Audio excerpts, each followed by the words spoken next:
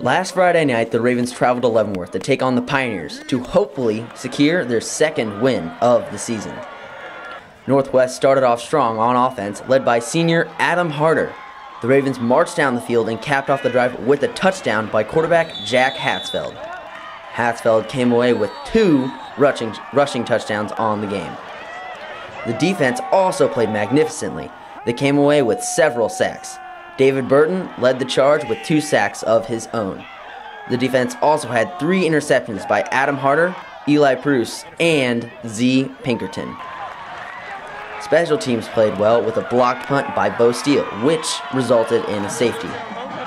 Olathe Northwest won the game 15 6 and will play Olathe South this Friday for homecoming. Come out and support the Ravens.